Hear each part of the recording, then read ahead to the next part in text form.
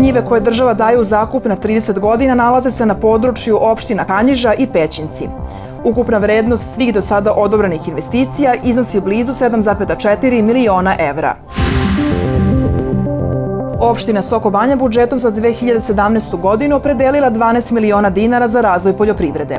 Prioriteti, razvoj sela i smanjenje nezaposlenosti. Loša vremenske prilike ovog proleća nisu išle na ruku povrtarima. Međutim, mnogo više od vremena naštetile im niske otkupne cene. Čuli ste najvažnije naslove kojima započinjemo novo izdanje emisije Agrodan. Dobrodošli.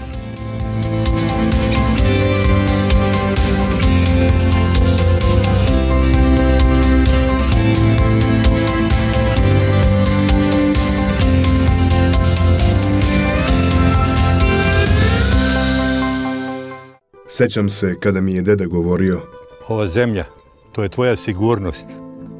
Koliko joj daješ, toliko ti vraća. Vidiš li ovaj slavol? Njime prskaš posle nicanja. Bolje će da raste, više će da rodi. Knjige čitaj, ali dedu pitaj. Hvala deda, tvoj je savet zlata vredan. Slavol, recept za bolji prinos. Embrili. U teškim godinama može da pruži izuzetno kvalitetnu i dobru zaštitu. Ja sam izuzetno zadovoljan. Tu ne treba nešto posebno ni trošiti reči. Embrilija će da ima budućnost sigurno. Brzo i efikasno delovanje već posle nekoliko dana. Efikasan za suzbijanje divljeg sirka iz rizoma i drugih uskulisnih korova. Bez retrovegetacije. Omiljen kod proizvođača zbog visoke selektivnosti. Odličan odnos kvaliteta i cene. Kletox, Agromarket, može biti samo jedan.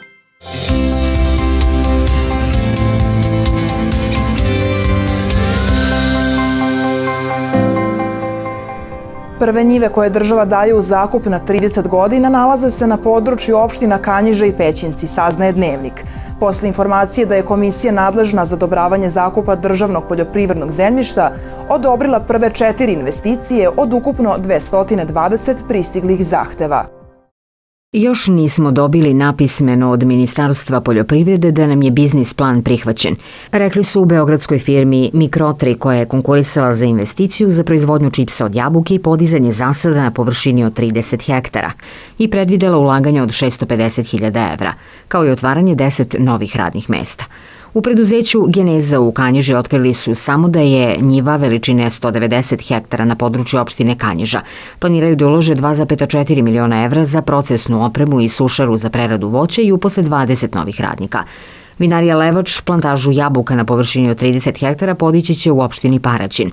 Tu će biti plantaža jabuka, proizvodnja čipsa od jabuke, vina, rakije i sirćeta od jabuke biće u pogonima vinarije, rekli su u tom gazdinstvu. Tek se očekuje da najveći investitori dobiju državne njive u zakup, a među njima je u javnosti najpoznatiji nemački proizvođač mesa Tenis. Dnevnik nije uspeo da uđe u trag gde je oranica veličine 73 hektara koje je dobilo društvo sa ograničenom odgovornošću Jakuma, registrovano u mestu Draža Njumčari na području području grada Beograd. Projekat Jakume čini investicija vredna gotovo 3 miliona evra koja se odnosi na ulaganje u proizvodnju čipsa od jabuke i zasade tog voća na površini od 73 hektara, a predviđa i otvaranje novih 20 radnih mesta kao i angažovanje značajnog broja sezonskih radnika. Ukupna vrednost odobrenih investicija je blizu 7,4 miliona evra na površini od 323 hektara. Opština Soko Banja je za mere podrške ruralnom razvoju i poljoprivredi u 2017. godini iz budžeta namenila sredstva u visini od 12 miliona dinara. Jedan od glavnih prioriteta je razvoj sela kako bi postakli mlade za boravak na njemu. Takođe, merama su predviđena direktna davanja poljoprivrednicima, podrška poljoprivrednim udruženjima, kao i ulaganja u infrastrukturu. Iako je ove godine namenjeno duplo više novca za razvoj agrara u poređenju sa 2016. prema rečima predsjednika opštine Soko Banja Isidora Krstića, to i dalje nije dovoljna suma kako bi se poljoprivreda na ovom području rehabilitovala. Jedan od e, strateških prioriteta opštine Sokobanja je upravo razvoj poljoprivrede i sela i u tom smislu mi smo opredelili u budžetu opštine Sokobanja za 2017. godinu e, duplo više para nego što je to bilo u 2016. godini. Znači, e, za 2016. godinu je bilo 6 miliona, mi smo sada za subvencionisanje poljoprivredne proizvodnje 12 miliona, što je, smatramo, nedovoljno, ali ćemo za već 2018. godinu bitno isto povećati iznos i tako pokušati da naše poljoprivredne proizvodnjače ovaj pospešimo da kreću jednom, jednim razvojnim putem da, da se proizvodnja širi i na taj način podignemo kompletno kvalitet življenja u selu, a i naravno u samoj opštini Sokobanja. Namera lokalne samuprave da stimuliše poljoprivrednike, a samim tim i potencijalne investitore za nove projekte na ovom području, a sve u cilju smanjenja nezaposlenosti. Jedna od osnovnih grana poljoprivrede ovog kraja je stočarstvo, međutim zbog nestabilnog tržišta i pada stočnog fonda i dalje je u nezavidnom položaju. Nažalost, e, našu opštinu kao i većine e, opština i gradova je zadesila ona ajde da kažem, nesrećna privatizacija. Mi smo nekada imali takva preduzeća koje su imale svoje prerađivačke kapacitete, koje su bukvalno privatizovana, rasprodana, to ništa od toga više ne funkcioniše i ne radi. I mi smo prinuđeni i ovih dana upravo radimo na formiranju jedne zadruge, i namera nam je i najverovatnije radit ćemo na obezbeđenju poslovnog prostora, a kasnije i na obezbeđenju prostora za prerađivačke kapacitete. U prvom redu to bi verovatno došlo u red jedna mlekara. Za razvoj agrara neophodna je i dobra infrastruktura, naročito kada je reč o atarskim putevima. Opština Sokobanja u budžetu je e, značajna sredstva predvidela za uređenje atarskih puteva. Mi smo predelili svakoj mesnoj zajednici po 300.000 za upravo uređenje tih nekategorisanih, odnosno atarskih puteva, kako bismo našim poljoprivrednim proizvodjačima omogućili da mogu vrlo kvalitetno da dolaze svojim mašinama do svojih parcela i na taj način nesmetano funkcionišu i obavljaju svoje primarne zadatke. Budžetom za narednu godinu predviđena su još veća sredstva za razvoj poljoprivredne proizvodnje, a predstavnici lokalne samuprave nadaju se da će agraru vratiti nekadašnji sjaj, naročito stočarstvu, po kojem je ovaj kraj inače prepoznatljiv. Cene domaćih proizvoda drastično su oborene zbog višestruko jeftinijih proizvoda iz uvoza, a potražnja voća i povrća iz Srbije sve je manja. Spas posrnule poljoprivrede stručnjaci vide u udruživanju po reformisanom zadružnom principu, u čemu bi, kažu, morala da posreduje država. Koja je razlika između srpskog i makedonskog paradajza? Zvuči kao vic, iako srpskim povrtarima svakako nije do šale. Jer razlika je u ceni, prenosi N1. Tako se makedonski ili albanski paradajz prodaje po ceni od 90 dinara, dok cena domaćeg ide i do 160. Nešto je manja razlika između španske i domaće paprike, 100 prema 120 dinara, a drastična je kada je reč o uvoznom belom luku. Kada je kupovna moć niska, cena diktira potražnju, kaže ekonomski zakon. Poljoprivrednici napominju da su im zato tezge krcate, a kantari najčešće prazni. Baš kao i džepovi. Mi koji proizvodimo nešto nemamo neki ekonomski interes kada dođemo na pijacu. Nema ovde neke velike dobiti, zarade, ovo je preživljavanje čisto, tvrdi Zoran, povrtar iz Obrenovca. Preživljavaju, kažu i drugi, iako su tvrde njihovi plodovi i bolji i lepši od stranih. Jer vidite vi boju koju ovo mora da ima. To je domaće. A domaće se bere svaki dan, dok konkurencija danima putuje do srpskih tezgi.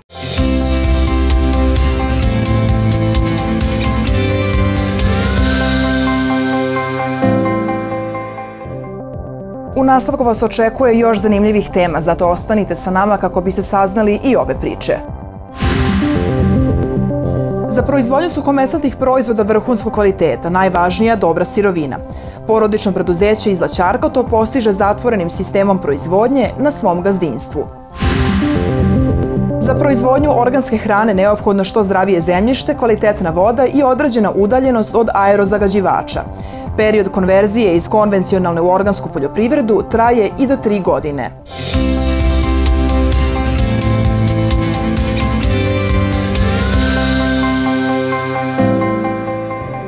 Za proizvodnju suhomesnatih proizvoda vrhunskog kvaliteta najvažnija je dobra sirovina.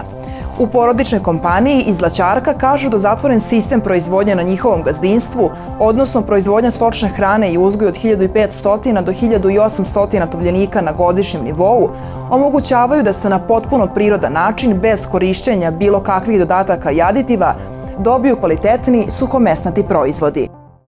Među izlagačima i učesnicima 18. Sremske kulenijade zapaženo mesto imali su proizvodi radnje specijalizovane za proizvodnju suhomesnatih proizvoda, But Co iz Laćarka. Porodica Jovanović, u čijem je vlasništvu ta mala kompanija, uspela je da sačuva tradiciju proizvodnje suhomesnatih proizvoda na prirodan način, kako se to u Sremu od davnina radi – Pored sremskog kulena proizvode i slanine, sremske kobasice, pečenice, suvi vrat i druge suhomesnate proizvode. Radimo isključivo tradicionalne proizvode iz Srema, bez bilo kakvih dodataka, aditiva, sredstava za zrenje, nitritne soli ili nečeg drugog. Isključivo prirodan način proizvodnje, Pritom imamo našu farmu između 1500 i 1800 tovljenika na godišnjem nivou i meso tih životinja koristimo u proizvodnji, a takođe na svojoj zemlji uzgajamo između 95 i 97% hrane potrebne za životinje sa naše farme. Tako da imamo u potpunosti zatvoren ciklus i samim tim možemo da garantujemo za kvalitet sirovine i za kvalitet finalnog proizvoda. Porodica Jovanović u proizvodnju ulaže dosta truda, vremena i energije u nastojanju da polako izgradi prepoznatljiv brend na tržištu. Naš plan je prvenstveno da dobijemo sertifikat o zaštićenom geografskom poreklu, odnosno sertifikat da radimo sremski kulen u skladu sa elaboratom, gde bismo postali prvi proizvođači, prvi ovlašćeni proizvođači sremskog kulena, ujedno i prvi sertifikovani proizvođači proizvoda od mesa sa zaštićenim geografskim poreklom. To je plan za sada, takođe da krenemo u zaštitu sremske šunke možda uskoro i tako nešto. U kompaniji Boot Co. kažu da ih raduje što sve veći broj kupaca prepoznaje kvalitet njihovih proizvoda, ali je za ozbiljniji proboj na domaće tržište, kako napominju, neophodno i dodatno edukovati potrošače. Oni misle da mogu da kupe kvalitetan proizvod za malo novca. I mnogi pitaju, e, pa da, ali to je skup proizvod. Moj odgovor je, ali to je kvalitetan proizvod. U našem poslu je kao i u svakom drugom koliko para, toliko muzike. I jednostavno ono na čemu mi sada radimo jeste edukacija naših potrošača, gde ih edukujemo o kvalitetu hrane, sastojcima, sirovinama. Iako verno čuvaju tradicionalni način proizvodnje, u kompaniji Buten Co. navode da je najveća mana što je takav proizvodni proces prilično dug. Naime, sremska kobasica suši se oko 2,5 meseca, kulen od 5 do 6, a šunka čak od 15 do 20 meseci.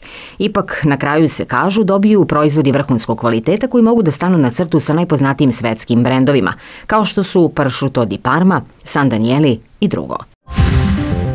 Osječko-Baranjska županija će u saradnji sa Severno-Bačkim i Južno-Bačkim okrugom u Vojvodini u naredne dve godine razvijati organsku proizvodnju, a Centar novih znanja i inovacija u ovoj vrsti poljoprivrede biće istraživačko-razvojni centar u Selenči. Reč je o projektu Organic Bridge, koji su pripremili i implementirat će ga sa hrvatske strane grada Valpovo i organizacija Terra Technopolis iz Osijeka a sa srpske strane Centar za organsku proizvodnju Selenča i Terasi Subotice. Njihov projekat jedan je od 24 odobrena u okviru prekograničnog programa Hrvatska-Srbija koji su odabrani od ukupno 127 pristiglih projekata. Projektna menadžerka Centra za organsku proizvodnju Selenča Biljana Viduka kazala da je cilj projekta da doprinese napređenju konkurentnosti Osječko-Baranjske županije i Severno-Bačkog i Južno-Bačkog okruga kroz razvoj novih i unapređenje postojećih proizvoda, usluga i brendova u organskoj proizvodnji.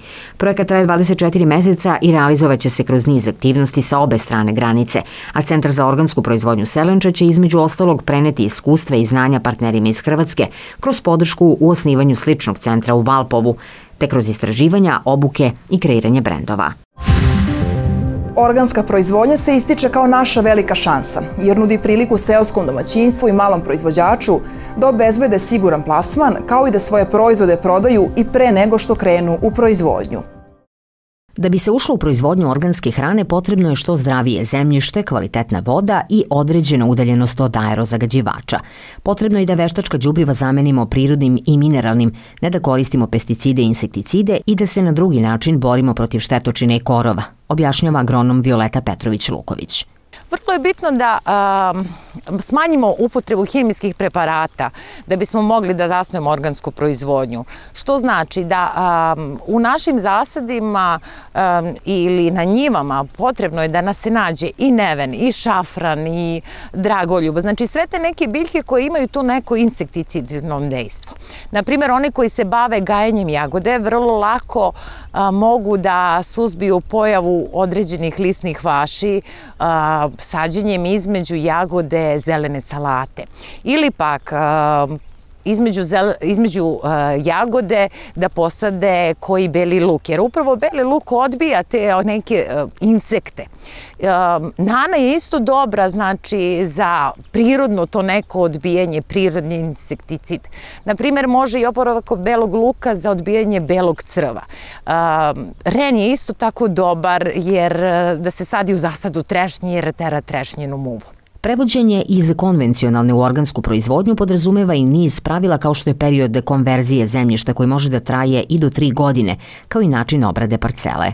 Mora da se vodi računa o tome um, koji su korovi zastupljeni na samoj parceli, jer nemate prskanje uh, korova kao u konvencionalnoj proizvodnji, već više koristite ruč, ručno, znači radite više tog nekog fizičkog rada.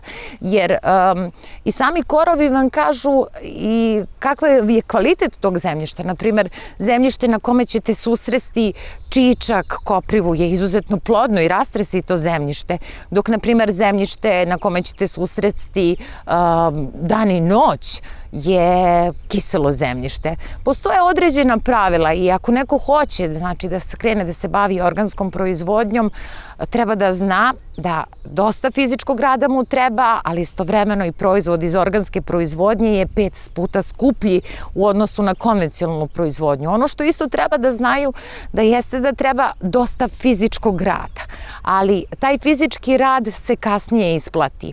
U Srbiji se organskom proizvodnjom hrane bavi oko 1800 proizvođača, a iz naše zemlje najviše se izvozi organsko voće za preradu uglavnom maline, kupine, jabuke, višnje i kruške.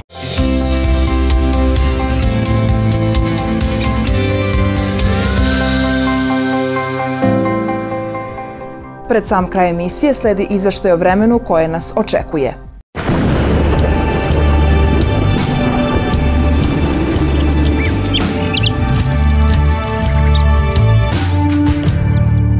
Većini predela tokom celog dana promenljivo oblačno i nestabilno, ali vrlo toplo i sparno vreme ponegde praćeno lokalnim pljuskovima i grmljavinom.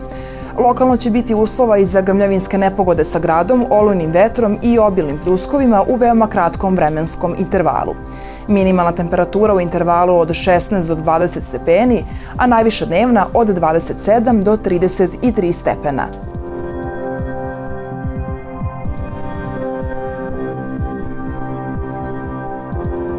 Nastavlja se periode sa nepovoljnim uticajem biometeoroloških prilika na hronično obolele osobe. Naročito opre savjetuje se kardiovaskularnim bolesnicima i astmatičarima.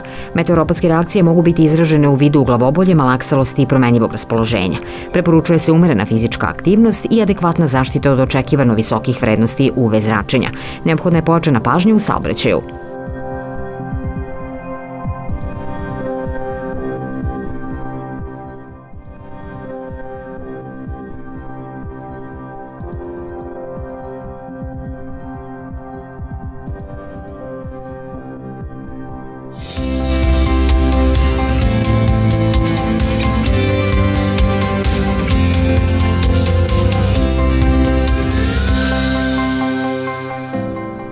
Na kraju smo i još jednog druženja. Pratite nas i u ostalim terminima kako biste uvek bili u toku sa svim aktuelnostima i sveta agrara. Do ponovnog susreta želimo vam prijatno i doviđenja.